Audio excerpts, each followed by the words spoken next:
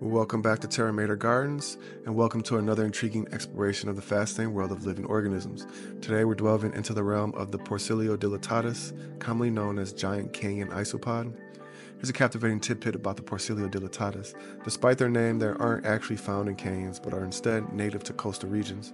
These giant isopods belong to the woodlouse family and are known for their distinctive flattened bodies and segmented exoskeletons. The giant canyon can be found along the Pacific coastlines of North and South America, particularly in regions with temperate climates. They inhabit areas with small, moist soil, decaying vegetation, and other organic matter, but they play essential roles in nutrient cycling and decomposition processes. The giant canyon isopod is aptly named for its impressive size compared to other species of wood lice.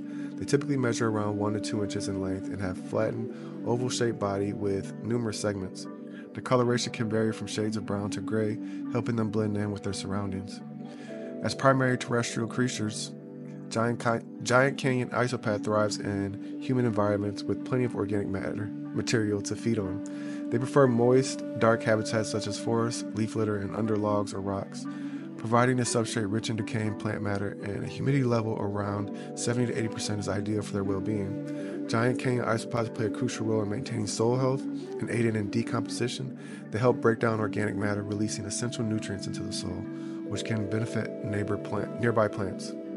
Porcellio dilatatus primarily serves ecological functions rather than practical uses for humans as decomposers.